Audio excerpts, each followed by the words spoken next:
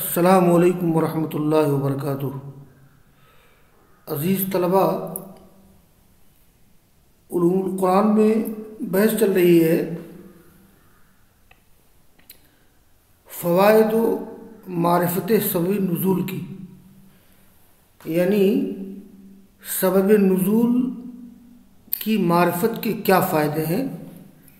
इस सिलसिले में तीन फ़ायदों का ज़िक्र हुआ है। अलिफ बा जीम के तहत। और आज ये चौथे फ़ायदे से दर्श शुरू होगा। तो चौथा फ़ायदा है, ये मारिफ तो सब नज़ुल, खैर सबील फ़ाम मान कुरान। सबब नज़ुल की मार्फत कुरान के मानी को समझने का सबसे बेहतरीन रास्ता है। ये सब नज़ुल का एक बड़ा अहम फ़ायदा है। यानी सबब नज़ुल की मार्फत के ज़रिया कुरान करीम के मानी को समझना आसान हो जाता है और बाज़ आयात में जो एक तरह की पेचीदगी होती है, वो पेचीदगी भी दूर हो जाती है।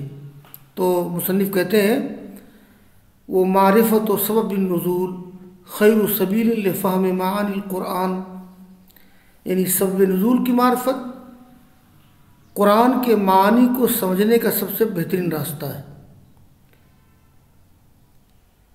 ये वो कशफ कशफ़ुलगमूज़ अल्लज़ी यकतनफ़ आयात फ़ी तफसरिया मालम यूरफ सबब नज़ुलिहा। तो सबब नज़ुल की मार्फत बेहतरीन रास्ता है फ़हम कुरान के मानी को समझने के लिए और उस पेचीदगी को दूर करने के लिए जो बाज़ आयात को घेरे हुए होती है, उसकी तफसीर के सिलसिले में जब तक कि उसका सब नज़ुल मालूम न हो। इसके बाद मुसनफ़ ने अल्लामा वाहिदी इबन दकीक़ुलईद और इबन तैमिया के अकवाल नकल किए हैं। कानल वाहिदी लाइमकुन मारिफत तफसर आया दूनवकूफ़ अला किस्सतिहा व बयान नज़ूलिहा। यानी किसी आयत की तफसीर की मार्फत मुमकिन नहीं, बग़ैर उसके वाक़ और उसके बयान नज़ुल पर वाकफियत हासिल की हुई। इबन दकीक़ुलईद कहते हैं, बयान सब नज़ुल तरीक़ फ़ी फ़ाहम मान कुरान।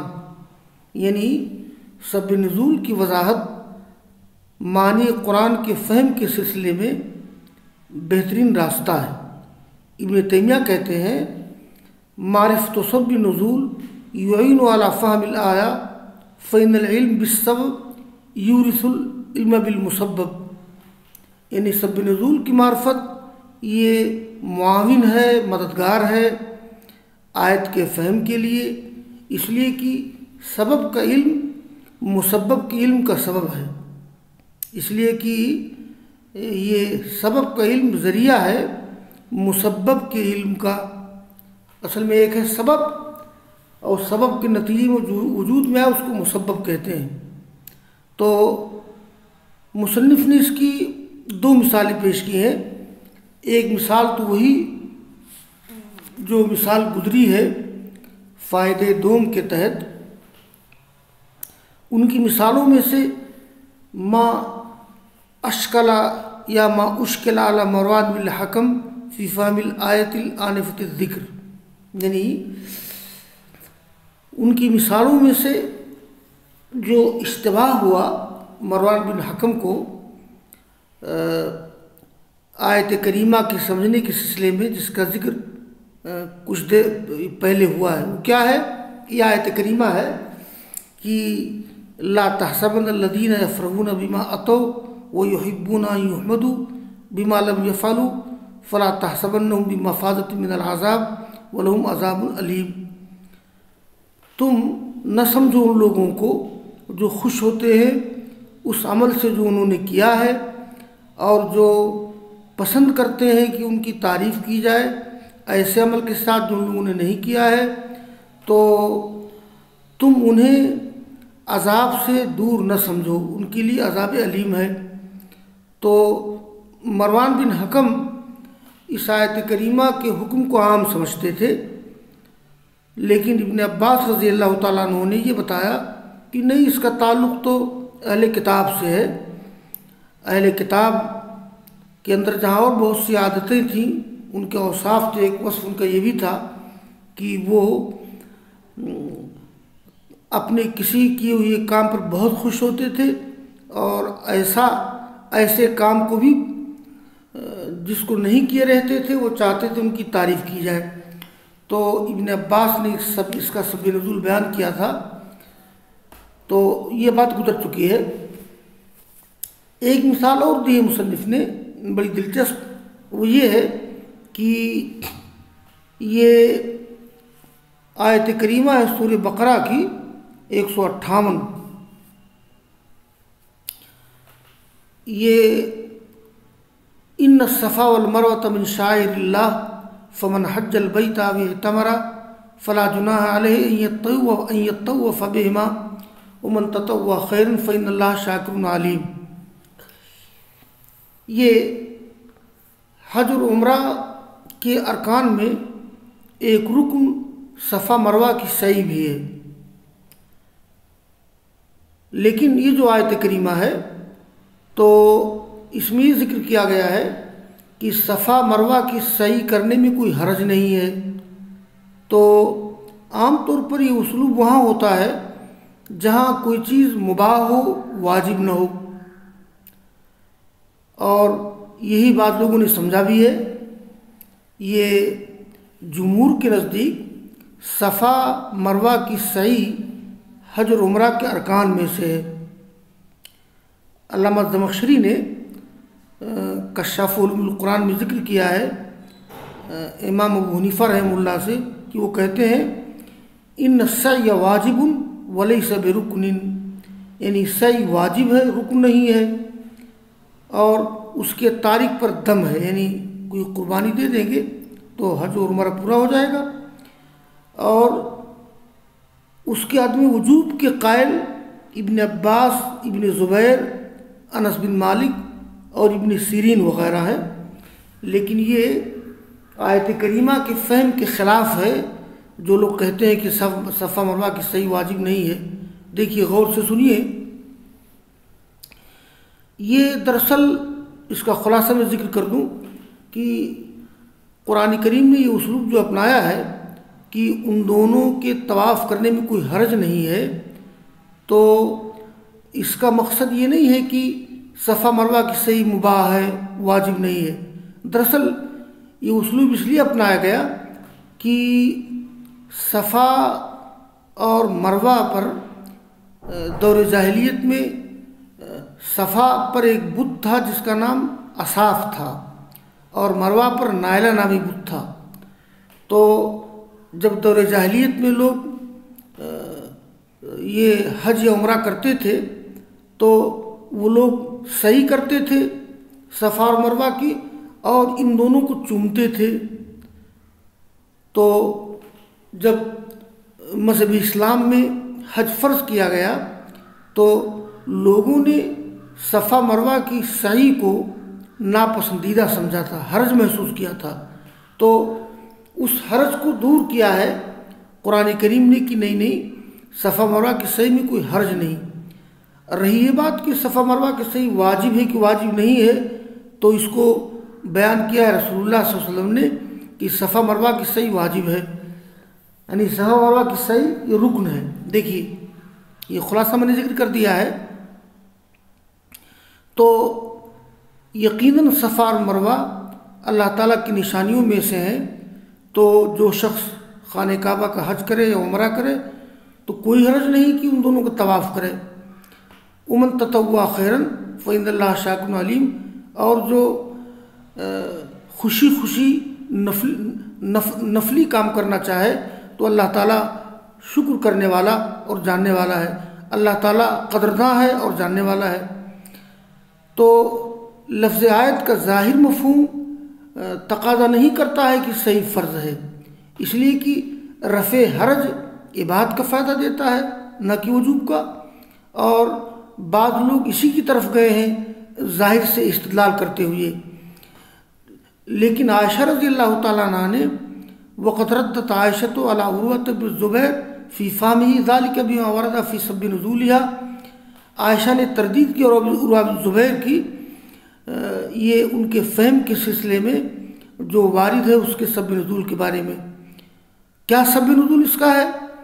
इसका सब नजूल ये है कि सा वो अन्न सहाबा तसमु मिन सय बैनहुमा लेनुमिन आमिल जाहिलिया है सुकान अल सफ़ा असाफ वादल मरवाना इला उहमा सलमान, वकान अबुल जाहिलिया, इज़ा साव मसहूहुमा। ये साहब कराम रज़ी अल्लाह मजमैन ने गुनाह समझा उन दोनों की सही में, इसलिए कि वो जाहिलियत का अमल था। इस वजह से कि सफ़ा पर असाफ नामी बुत था और मरवा पर नायरा नामी बुत था। ये दोनों बुत थे और जाहिलियत के लोग जब सही करते थे, उन दोनों को हाथ लगाते थे। आयशा से मरवी है अनायशता न उर्वा तकाल अराइते कौल्ला इन सफ़ा वलमरवत बिन फ़मन हज्जल बैता तमरा, फ़ला जुनाह तैत व फ़बहमा। ये उर्वा बिन ज़ुबैर ने आयशा से ये इश्काल किया था। तो आयशा से मरवी है कि उर्वा ने उनसे कहा कि, आप देखती नहीं है अल्लाह ताला का कौल कि सफ़ा और मरवा अल्लाह ताला की निशानियों में से है तो जो शख्स खान काबा का हज करे या उम्र करे तो उसके लिए कोई हर्ज नहीं है कि उसका तवाफ़ करे। फमार आला आदिन तो मैं किसी के लिए हर्ज नहीं समझता। उर्वा ने कहा कि उन दोनों को तवाफ़ न करे। ये उसका ज़ाहिर मफहूम उर्वा ने लिया। तो आयशा ने कहा कि बेसमा कुलता अपना खुदी बहुत गलत बात कही तुमने। ए मेरी बहन के लड़के ए मेरे भांजे, इन्हा लौकानत अलामा कानत अलामा अव्वल तहा अगर बात वही होती जो ताविल तुमने की है तो आयत करीमा इस तरह से होती, फला जुनाह आले अल्लाह तवफ़ा बेमा यानी किसी के लिए हर्ज नहीं कि उनका तवाफ़ न करे। लेकिन ये उस आयत का नजूल हुआ है इस वजह से कि अंसार मुसलमान होने से पहले कानू यहलून ले मनाती तागियतलती कानू याबुदून कि वो तलबिया पुकारते थे सरकश मनात के नाम, वो जिनकी इबादत करते थे वकान मन अहल्ला और अहल्ला हर रजो यतूफ़ा बिसफ़ा और जाहलिया। फ़ानजल वकान मन अहल्ला यतहरजो युतफ़ा बिसफ़ा और जाहलिया। और वो जो उनका एहराम बात था, हरज महसूस करता था कि दौर जाहिलियत में सफ़ा मरवा का तवाफ़ करे। तो अल्लाह ताला ने आयत करीमा उतारी, यानी अंसार के लोग मुसलमान होने से पहले मनाते तागिया का तलबिया पुकारते थे और मुसलमान होने के बाद फिर हरज महसूस करते थे। तो उस हरज को कुरान करीम ने दूर किया है इन सफ़ा और मरतम शायर आयशा ने कहा कि इसीलिए रसोल्ला ने उन दोनों के तवाफ़ के बारे में वजाहत की है। फ़ल सलहदिन यदा तवाफ़ बहमा तो किसी के लिए जायज़ नहीं कि उन दोनों के तवाफ़ को छोड़ दे। तो ये चौथा फ़ायदा है।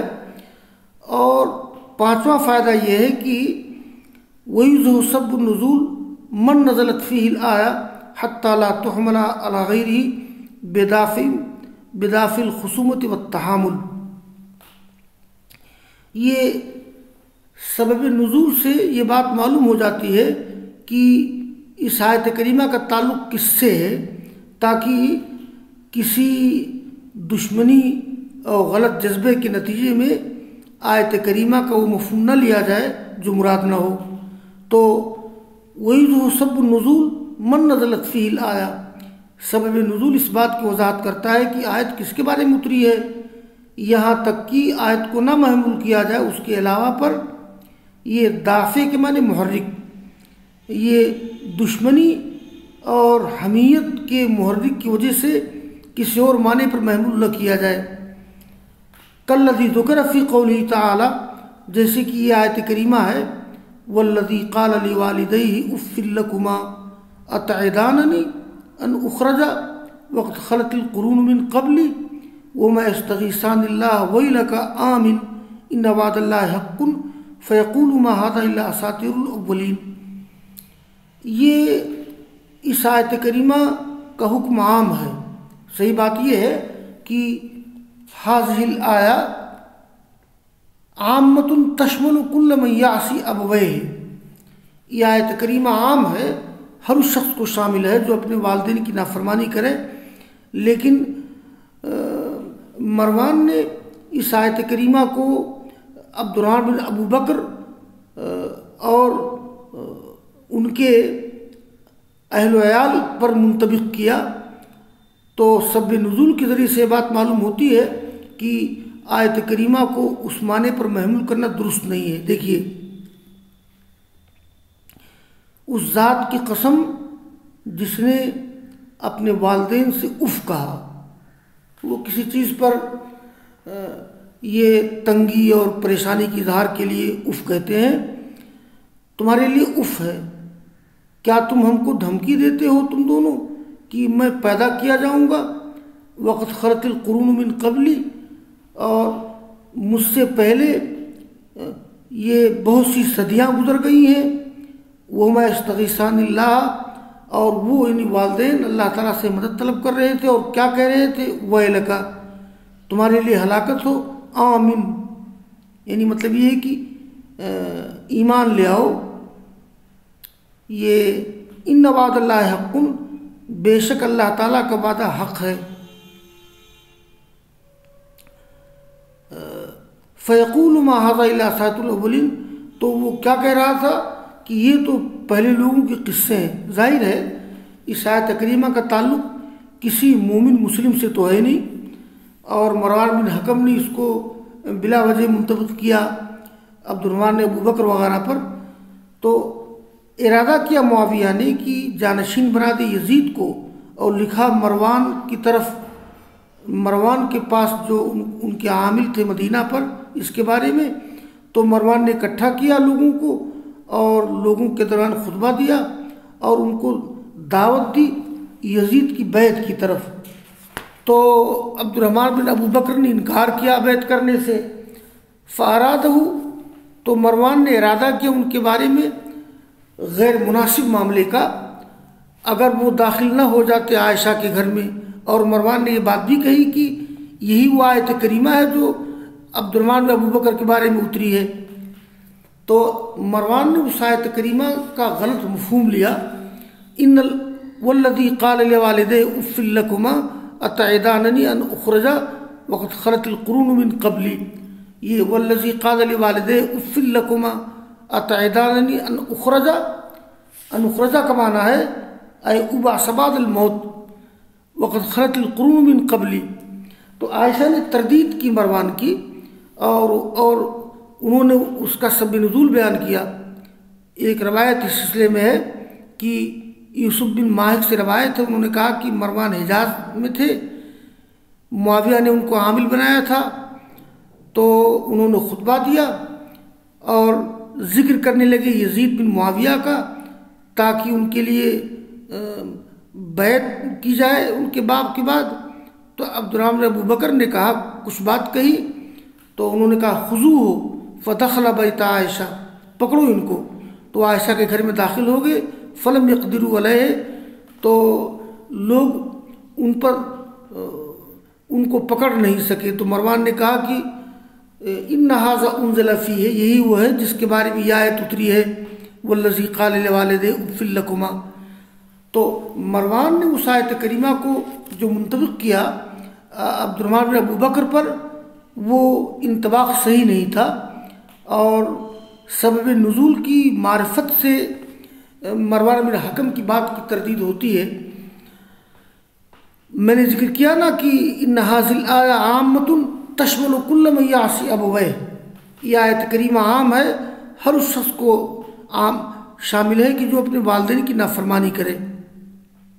देखिए तो फ़तखला बैता आयशा फल मकदर वलह फ़कार मरवान मरवान ने कहा इन नहाजा उन ज़लफ़ी वल्लजी कादल वालद उफ़िल्लकुमा जिसने अपने वालदेन से कहा कि तुम्हारे लिए उफ़ है तो आयशा ने कहा कि माँ अनज़ल्लाफ़ीना शैम कुरान अल्लाह अनजला आयशा ने वजाहत की कि भाई, हमारे घर वालों के बारे में कुरान का कोई टुकड़ा नहीं उतरा है, मगर वो जो अल्लाह ताला ने ये मेरे उज़्र को नाजिल किया। यानी मतलब ये कि सूर्य नूर में आयशा रज़ी अल्लाह तला की तरफ़ से माजरत का जो नजुल हुआ है और आयशा की पाकदामनी का नजुल हुआ है, बस इसके अलावा कोई चीज़ मेरे बारे में अब्दुलमान के बारे में नहीं उतरी है। बाद रवायत में है कि इन मरवान लम्मा तलब बया यजीद काला सुन तो अभी बकरी व उमर। मरवान ने जब बैत तलब की यजीद के लिए तो और ये कहा कि ये अबू बकर उमर की सुन्नत है तो अब्दुलरहमान ने कहा कि नहीं, ये हेरकल और कैसर की सुन्नत है। तो मरवान ने कहा कि हाजल नजी कादल्लाफ़ी है यही वो शख्स जिसके बारे में कुरान ने कहा है, वल्लजी कालुल वालद उफ़िल्लकुमा यानी जिसने अपने वालदेन से कहा था कि तुम्हारे लिए उफ़ है। तो ये बात आयशा को पहुँची तो आयशा ने कहा कि ये मरवान ने गलत बात कही, वल्लजी वल्लाह माँ हुआ भी वल्लाह, वो बात नहीं जो मरवान ने कही है। अगर मैं चाहूँ तो उस शख्स का नाम ले लूँ जिसके बारे में यह आयत करीमा उतरी है तो मैं नाम ले लेता। हालाँकि आसार रवायात के ततब्बो तलाश से बात मालूम होती है कि इन हाजिल आया आमतुन तशमलकुल्लम यासी अबवे है। यानी यह आयत करीमा आम है, हर उस शख्स को शामिल है कि जो अपने वालदेन की नाफरमानी करे। असल में क्या हुआ था? मरवान ने बहरहाल उस आयत करीमा का मतलब गलत लिया और आयात के मानव मफहूम में गलती हो जाती है लोगों से। ये दरअसल ऐसा हुआ था कि जब ये मुआविया रज़ी अल्लाह तु अपने बाद यजीद को जानशीन बनाया था। बड़ी उसमें हमत अमली थी जानशीन बनाने में। तो पूरी उम्मत ने यजीद के लिए बैत कर दी थी। अलबत् ये अब्दुल्ला बिन ज़ुबैर और अब्दुलमान बिन अबू बकर और हुसैन रज़ी अल्लाह तु चंद लोगों ने बैत नहीं की थी। और इन लोगों के बैत न करने को अब्दुल्ला बिन अब्बास और इबन उमर नापसंद करते थे, बल्कि इसको खरूज और बगावत से ताबिर करते थे। इसीलिए ये मरवान ने उसको दूर करने की कोशिश की थी। बहरहाल ये एक इख्तलाफी मसला इस्लामी तारीख़ का है और इस मामले में बहुत ज़्यादा बोलना मुनासिब नहीं है। तो मैं कर रहा था कि ये जो आयत करीमा है, वल्लजी कादल वालद उफ़िल्लकुमा तैदाननी तो बहरहाल इसका ताल्लुक अब्दुलरमान बिन अबू बकर से नहीं है। हो सकता है कि मरवान को ये गलत बात पहुँची हो इस आयत करीमा के सिलसिले में। उन्होंने ये बात कह दी हो, वरना मरवान ये सिका लोगों में है। मुहदसिन ने मरवान के हवाले से रवायतें भी नकल की हैं। अगर मरवान सिका ना होते तो इमाम बुखारी ने, इमाम मुस्लिम ने और दूसरे मुहदसिन ने मरवान के वास्ते से बहुत सी रवायात और बहुत सी हदीस नकल की हैं। तो ये बात पूरी हो गई कि सबब नज़ुल की मार्फत के क्या फ़ायदे हैं।